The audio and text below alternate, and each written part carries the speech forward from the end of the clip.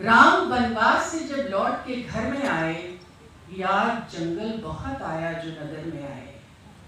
रथ से दीवान की आँगन में जो देखा होगा 6 दिसंबर को श्री राम ने सोचा होगा, इतने दीवाने कहाँ से मेरे घर में आए? जगमगाते थे जहाँ राम के कदमों के निशान। प्यार की कहकशां लेती थी अंगड़ाई जहाँ। मोड़ नफरत के उसी राह गुजर में आए। उनका था क्या जात थी वो जानता कौन? घर न जलता तो उन्हें रात में पहचानता कौन? घर जलाने को मेरा लोग जो मेरे घर में आए। शाकाहारी थे मेरे दोस्त, तुम्हारे खंजर। तुमने बाबर की तरफ़ फेंके थे सारे पत्थर। है मेरे सर की खता, जख्म जो सर में आए। पाँव सरयू में अभी राम ने धोए भी न थे। कि नज़र आए वहाँ खून के गहरे धब्बे। पाँव धोए बिना सरयू के किनारे से उठे।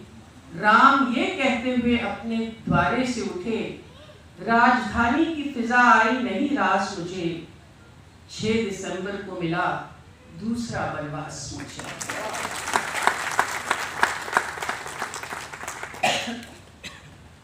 हमारा जो मुल्क है, जिसमें हमको बहुत फख्र है जिसमें हम बहुत गर्व करते हैं।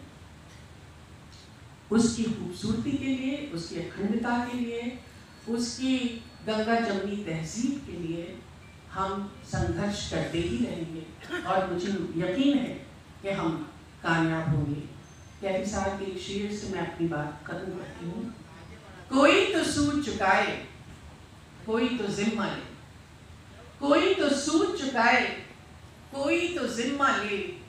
उस इनकलाब का जो आज तक उधार सा है तो मैं आज कैफी साहब की हंड्रेड बर्थ सेंचुरी भी ये कहना चाहती हूँ, कैफी साहब, हम सब कोशिश कर रहे हैं। शुक्रिया। Subscribe our channel and press the bell icon for more updates.